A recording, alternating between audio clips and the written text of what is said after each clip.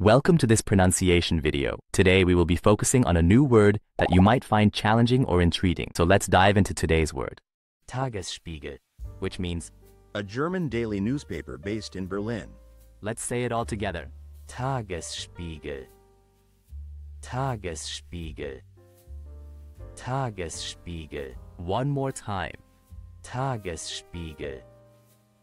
Tagesspiegel. Tagesspiegel.